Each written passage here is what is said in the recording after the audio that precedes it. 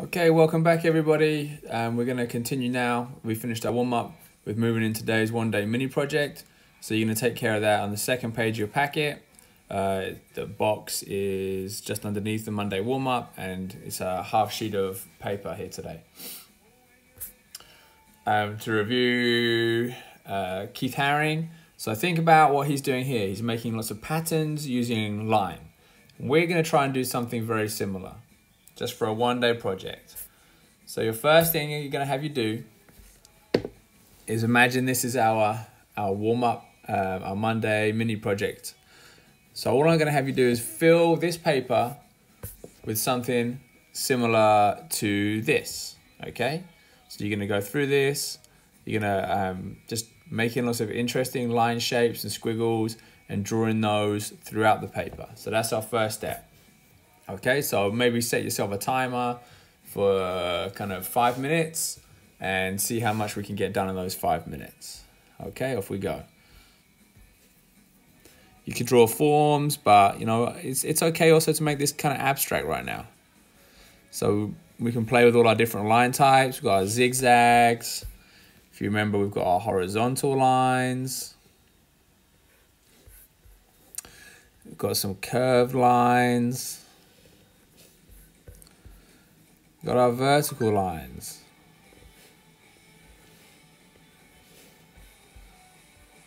And we have our diagonal lines. So let's go for a composition that's full of these different lines first of all.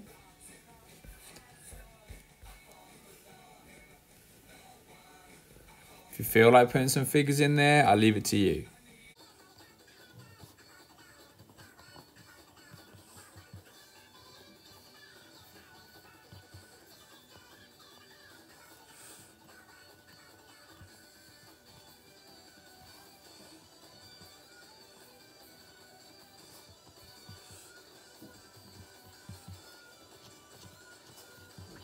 Okay, something like that. What's important at this stage is we leave quite a bit of space because what we're going to do is we're now going to turn these lines into shapes just like we did for our um, graffiti letters. So I have my shapes like my lines like this and then I'm just going to trace around them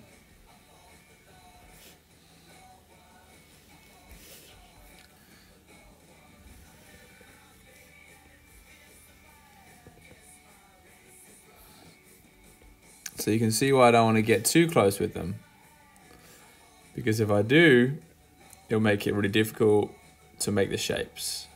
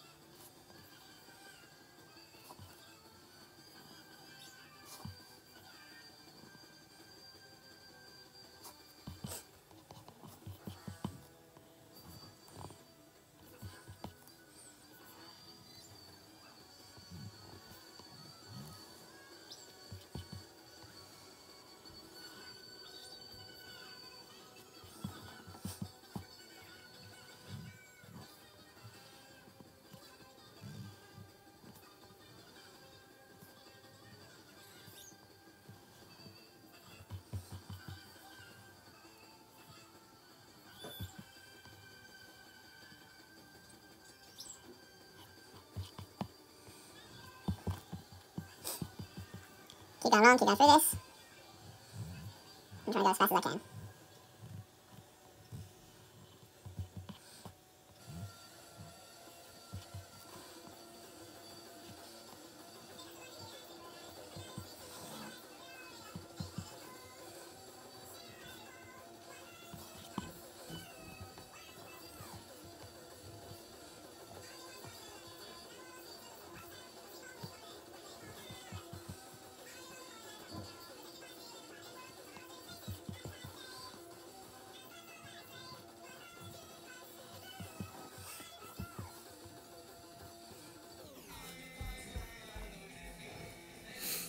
Okay, and then you're going to grab your eraser and get rid of the lines in the middle.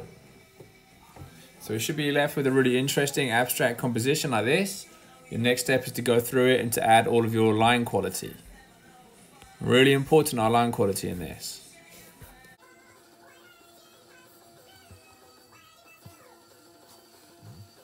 Use a sharp. Use a pencil, whatever you prefer. Whatever you have available.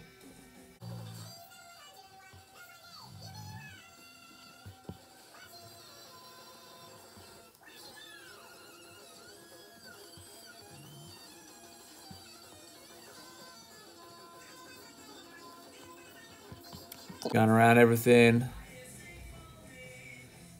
Really nice, good sized outlines.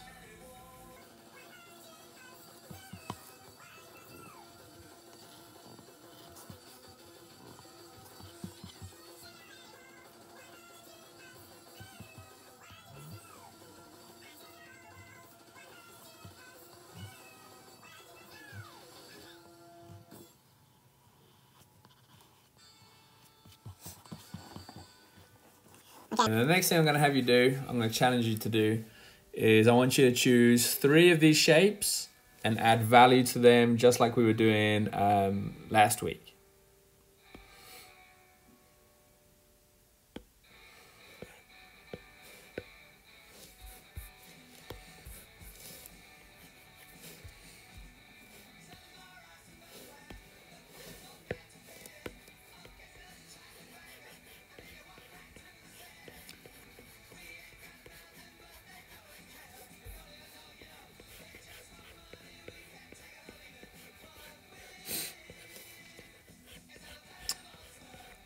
So if you remember what we were doing last week is we were starting with a like a number two value pretty much throughout the whole of the shape.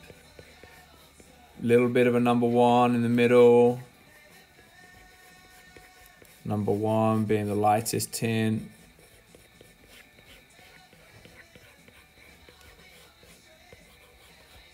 And then on the edges, let's just go to a number four this time.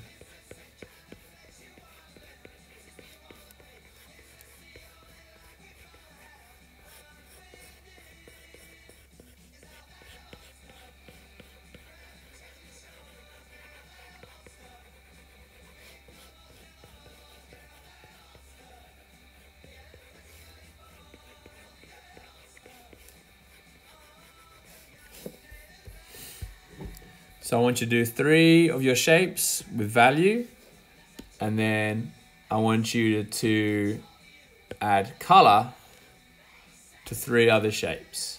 Any three colors you want. And yes, I know I'm cheating.